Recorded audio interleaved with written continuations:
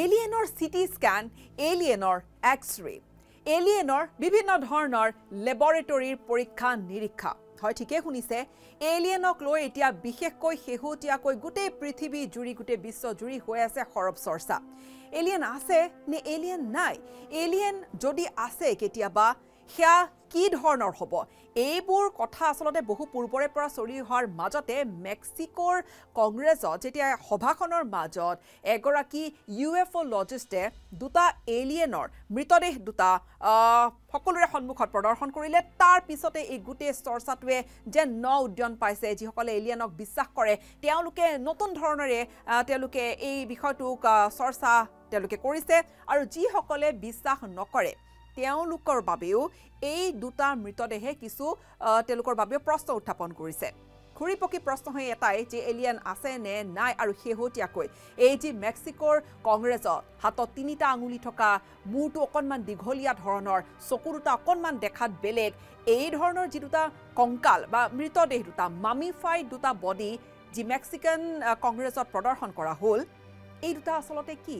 আৰু যি মই এলিয়েনৰ চিটি স্কেনৰ কথা কৈছোঁ এই এলিয়েনৰ বডি দুটাৰে আচলতে কৰা হৈছে। এলিয়েন মানে এলিয়েন বুলি দাবী কৰা এই বডি দুটাৰেই চিটি স্কেন আৰু লগতে এক্স ৰে লগতে আন কিছু পৰীক্ষা নিৰীক্ষাও কৰা হৈছে।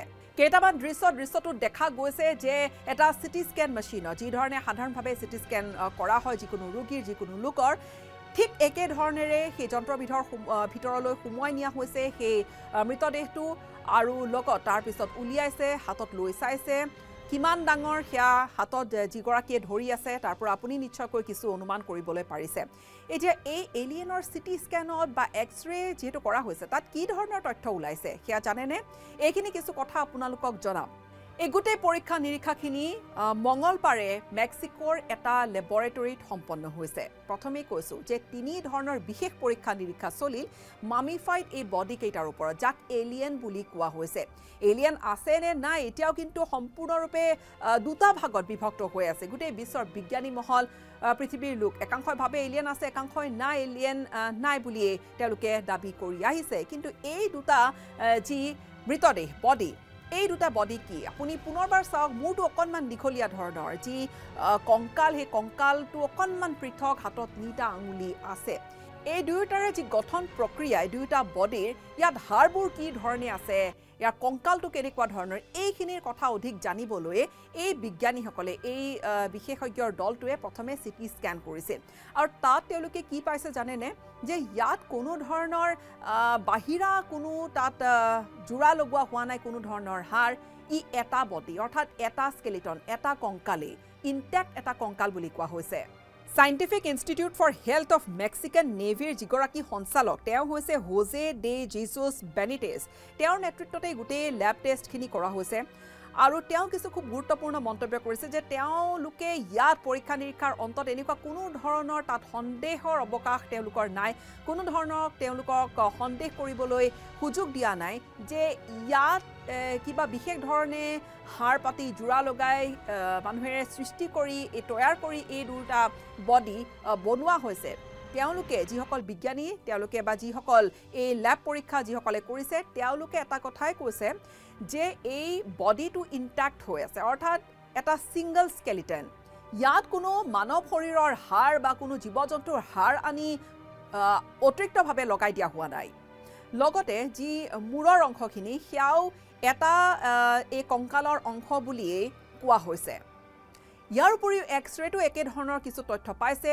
ফ্লুৰস্কপি বুলি আন এটা যি টেষ্ট পৰীক্ষা সেয়াও কৰা হৈছে এই এটা কংকালৰ আচলতে দুটাকৈ মেক্সিকান কংগ্ৰেছত এগৰাকী ইউ এফ অ' লজিষ্ট আৰু তেখেত এগৰাকী সাংবাদিকো হেমি মচান হেমি মচানে এই গোটেইখিনি প্ৰসংগ পোহৰলৈ অনাৰ পিছত যি দুটা মৃতদেহ দেখুৱাইছিলে বা যি দুটা শৰীৰ দেখুৱাইছিলে এই দুয়োটা শৰীৰৰ এটাৰ ওপৰত এই পৰীক্ষা নিৰীক্ষাখিনি কৰা হৈছে আৰু এক্স ৰে বা চি টি স্কেন কৰোঁতে লগতে পৰীক্ষা নিৰীক্ষা কৰোঁতে বিজ্ঞানীসকলে বা এইসকল চিকিৎসকে তেওঁলোকে আৰু এটা কথা তেওঁলোকে গম পাইছে যে এই দুয়োটা দেহৰ ভিতৰত এটা দেহৰ ভিতৰৰ অংশত কণী সদৃশ বা লাম্প সদৃশ তেওঁলোকে কিছু তেওঁলোকে কিছু ষ্ট্ৰাকচাৰ তেওঁলোকে দেখিছে। লেবৰেটৰীৰ এই যিখিনি ফলাফল ইয়াৰ পিছত হয়তো আৰু কিছু প্ৰশ্ন উত্থাপন হ'ব। এলিয়েনক কেনেকৈ তেওঁলোকে পৰীক্ষা নিৰীক্ষা কৰিলে এই ধৰণৰ কথা কিছু হয়তো আৰু চৰ্চিত হ'ব। কিন্তু মূল প্ৰসংগ যে এতিয়া এলিয়েনক লৈ সৰব চৰ্চা আৰু জানেনে দুটা ভাগত সম্পূৰ্ণৰূপে বিশ্বৰ বিজ্ঞানীসকল বিশ্বাস তেওঁলোকে ভাগ হৈ আছে। এছামে ভাবে যে এলিয়েন আছে এছামে সম্পূৰ্ণৰূপে নুই কৰি আহিছে। ইয়াৰ মাজতে নাচাই শেহতীয়াকৈ এটা প্ৰতিবেদনো কেইবা পৃষ্ঠাজোৰা এটা প্ৰতিবেদনো ইউ এফৰ ওপৰত আনআইডেণ্টিফাইড ফ্লাইং অবজেক্টছৰ ওপৰত এটা প্ৰতিবেদন তেওঁলোকে প্ৰকাশ কৰে য'ত তেওঁলোকে এই ধৰণৰ এটা কথা পতিয়ন নিয়াব পৰাকৈ তেনেকুৱা এলিয়েনেই যে ইউ এফৰ আঁৰত থকা মূল শক্তি এই ধৰণৰ কথা পতিয়ন নিয়াব পৰাকৈ কোনো ধৰণৰ তথ্য পোৱা নাই বুলি তেওঁলোকে দাবী কৰিছে। লগতে এই মেক্সিকোত দেখুওৱা দুয়োটা শৰীৰ দুয়োটা বডি সম্পৰ্কে নাচাৰ পৰা এই ধৰণৰ প্ৰতিক্ৰিয়া দিয়া হৈছিল যে মেক চেম্পলছ এভেইলেবল এই পৰীক্ষা নিৰীক্ষাৰ বাবে এই দুয়োবিধ চেম্পল বিশ্বৰ বিজ্ঞানী মহলৰ বাবে উলিয়াই আনিব লাগে বুলি নাছা এটা খুব গুৰুত্বপূৰ্ণ মন্তব্য কৰিছিল। যিয়ে নহওক মেক্সিকোৰ এই দুয়োটা যি এলিয়েন বুলি যাক কোৱা হৈছে এই এলিয়েন দুটা সাংবাদিক হাইমি মচানে যি ধৰণে তেওঁ দাবী কৰিছে তেওঁ পিছত সময় আহিলে সকলোখিনি কথা আৰু ভালদৰে খুলি ক'ব বুলি তেওঁ মন্তব্য কৰিছে।